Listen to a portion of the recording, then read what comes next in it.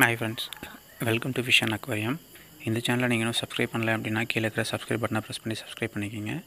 பக்கத்தில் இருக்கிற பெல் பட்டனை ப்ரெஸ் பண்ணிங்க அப்படின்னா நான் எந்த வீடியோ போட்டாலும் உங்களுக்கு காட்டும். வாங்க இன்றைக்கி வீடியோக்குள்ளே போகலாம் ஸோ இன்றைக்கி நம்ம கப்பி ஃப்ரைஸ் பற்றி தான் பார்க்க போகிறோம் ஆல்ரெடி வந்து நான் ப்ரீடிங் விட்டுருந்தேன்.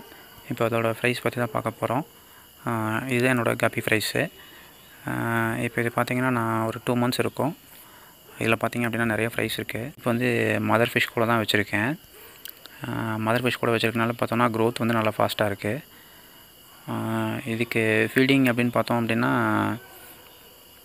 நார்மல் நம்ம நார்மல் ஃபுட்டே வந்து கொடுக்கலாம். அப்படி இல்லைன்னா எக் யோக் கொடுக்கலாம். எக் யோக் கொடுத்தோம் அப்படின்னாலும் நல்லா க்ரோத் ஆகுது. நான் இப்போ வந்து நார்மல் ஃபுட்டு தான் வந்து கொடுத்துருக்கேன். ஸோ நம்ம பில்டிங்க்கு வந்து நிறைய ஹைடிங் ஸ்பாட்டு இல்லை வந்து நிறைய மணி பிளான்ட் அந்த மாதிரி ஏதாவது உள்ள நிறைய வச்சோம் அப்படி ஃப்ரைஸ் எல்லாம் வந்து கேர் ஆயிரும். கப்பி வந்து பார்த்தோம் அப்படின்னா பொதுவாக வந்து அதோடய குட்டிங்களை வந்து சாப்பிடாது. நிறைய டைப் வந்து கப்பி இருக்குது நான் வந்து ஒரு நாலு பேர் தான் வாங்கி விட்டேன். இப்போ பார்த்தீங்க அப்படின்னா ஃபுல்லாக நல்லா ப்ரீட் ஆகிருக்கு ஸோ அந்த கப்பி மாலையெல்லாம் வந்து ப்ரீடிங் வந்து ஈஸியாக பண்ணலாம். இதை வந்து நம்ம புரிஞ்சிக்காமல் வந்து ரொம்ப காம்ப்ளிகேட் பண்ணிக்கிட்டு நம்ம மேக்ஸிமம் அவுட்டோரில் வந்து ப்ரீட் பண்ணணும். அவுட்டோரில் ப்ரீட் பண்ணோம் அப்படின்னா தான் நல்லாயிருக்கும். ஸோ நம்ம ப்ரீட் பண்ணுறதுக்கு முன்னாடி வந்து பேரண்ட்டை செப்பரேட் பண்ணிவிட்டு நல்லா ஃபீட் பண்ணிவிட்டு அதுக்கப்புறம் வந்து ப்ரீடிங் ஒன்றும் ஸோ ஃப்ரைஸ் வந்துருச்சு அப்படின்னாலும் ஃப்ரைஸ்க்கு வந்து ஓவர் ஃபீட் பண்ணாதீங்க.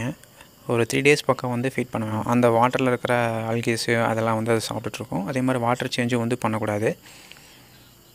ஸோ மதர் ஃபிஷ்ஷை மட்டும் தனியாக பிரிச்சுக்கலாம். மோஸ்ட்லி வந்து பார்த்தோம் அப்படின்னா கப்பி வந்து ஃப்ரைஸை வந்து சாப்பிடாது. மாலியாக இருந்தது அப்படின்னா வந்து தனியாக பிரிச்சுக்கலாம். அவுட்டோரில் நம்ம ப்ரீட் பண்ணலாம். நீங்கள் கிளாஸ் டேங்க்கில் ப்ரீட் பண்ணுறதை விட அவுட்டோரில் ப்ரீட் பண்ணிங்கன்னா இந்த மாதிரி பண்ணோம் அப்படின்னா நல்லா க்ரோத் ஆகும். இதில் பார்த்தா தெரியும் இப்போது சைட்லலாம் வந்து ஆல்கேஸ் வந்து நல்லா ஃபார்ம் ஆகிருக்கும் இந்த ஆல்கேவை தான் வந்து கப்பி ஃப்ரைஸ் எல்லாமே நல்லா சாப்பிடும். ஸோ சன்லைட்டும் வந்து இதுக்கு முக்கியம். சன்லைட்டை வந்து லைட்டாக படுற மாதிரி இருக்கணும். ரொம்ப ஓவராக பட்டது அப்படின்னா நமக்கு வந்து வாட்டர் கண்டிஷன் வந்து ரொம்ப மோசமாயிரும். க்ரீன் கலர் ஆயிரும். ஸோ ஓரளவு வந்து சன்லைட் ஒரு ஒன் ஹவரில் டூ ஹவர் வந்து சன்லைட் படுற மாதிரி இருக்கிற இடத்துல வச்சிடணும். டேரெக்ட் சன்லைட் படுற மாதிரி இருக்கிற இடத்துல வைக்கக்கூடாது. ஸோ இதோட பேரண்ட் ஃபிஷ்ஷும் வந்து இதில் தான் இருக்குது இது பார்த்திங்கன்னா தெரியும் பாட்டமில் இருக்கும். ஒரு நாலு பேர் தான் இருக்கும். இந்த நாலு பேரோட போட்ட குட்டி தான் வந்து இவ்வளோ குட்டிங்கள் இருக்குது இது பார்த்தீங்கன்னா நல்லா தெரியுது பாருங்கள் எல்லா ஃப்ரைஸும் வருது. இந்த டக்விட் பிளானட் வந்து ஃப்ளோட்டிங் பிளானட் இருக்கும் வந்து அதிகமாக க்ரோத் ஆகிட்டே இருக்கும். இந்த பிளானட் போட்டிங்கன்னா சன்லைட் வந்து டேரெக்டாக வந்து வாட்டருக்குள்ளே போகாது. ஆனால் என்னென்னா அதிகமாக ஆகிட்டே க்ரோத் ஆகிட்டே இருக்கும் பிளானட் சீக்கிரமாக க்ரோத் ஆகும். நம்ம வந்து எடுத்து க்ளீன் பண்ணிட்டே இருக்க வேண்டியது இருக்கும்.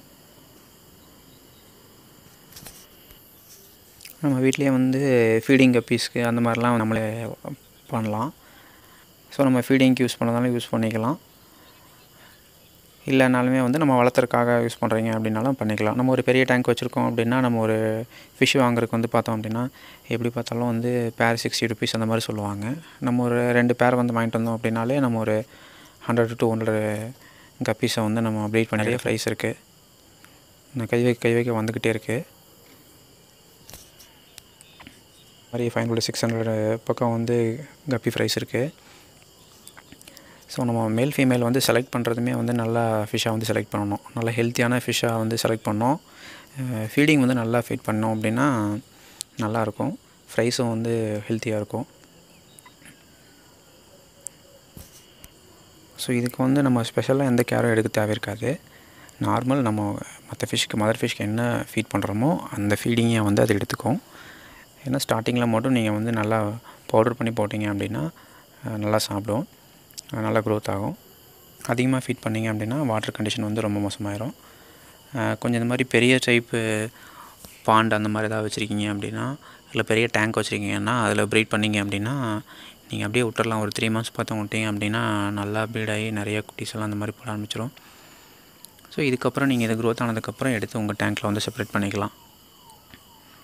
நிறைய ஃப்ரைஸ் இருக்குது இது பார்த்திங்கன்னா ஓரளவு க்ரோத் ஆனது தான் சின்ன சின்ன ஃப்ரைஸுமே இருக்கும். அந்த ஃபிஷ்ஷோட கலர் அப்பையும் என்னென்ன டைப் எல்லா டைப் கப்பியுமே இருக்குது உள்ள. பில்டிங் பற்றி திரும்ப டீட்டெயில்ஸ் வேணும் அப்படின்னா வீடியோ வேணும்னா கமெண்ட் பண்ணுங்கள் ஸோ நான் திரும்ப வீடியோ போட பார்க்குறேன் ஸோ உங்களுக்கு டேஃப்னியோ மைக்ரோஹோம்ஸ் அந்த மாதிரி ஏதாவது கிடச்சிது அப்படின்னா ஃபீட் பண்ணிங்க அப்படின்னா நல்லா க்ரோத் ஆகும். இல்லை அப்படின்னா நார்மலாகவே ஃபுட்டே வந்து கொடுக்கலாம். ஸோ இந்த வீடியோ உங்களுக்கு பிடிச்சிருந்தது அப்படின்னா லைக் பண்ணுங்கள் ஷேர் பண்ணுங்கள் சப்ஸ்கிரைப் பண்ணுங்கள் தேங்க்யூ ஃபார் வாட்சிங்